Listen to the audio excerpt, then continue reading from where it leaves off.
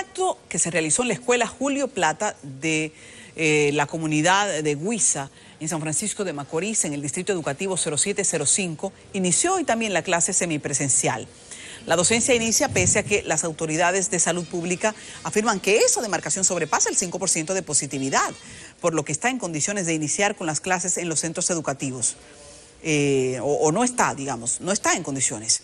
El maestro Vicente Almonte, en representación de la directora regional Guadalupe Bruno, reafirmó el compromiso que ha asumido Educación por el Bienestar de los estudiantes, asegurando que se han establecido todos los protocolos de bioseguridad.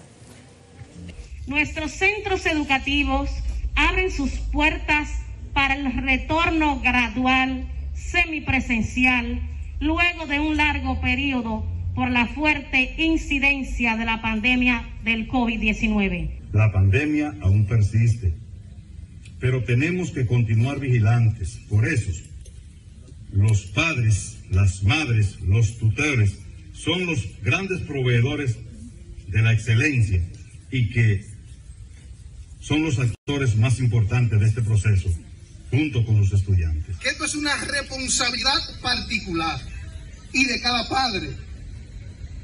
Y hoy nosotros, en representación de la MAI, Presentes en la actividad estuvieron representantes de diferentes instituciones, así como el director general de Educación Secundaria, Roberto Marte, técnicos, docentes, tanto distritales como regionales, personal de apoyo y administrativo del centro igualmente.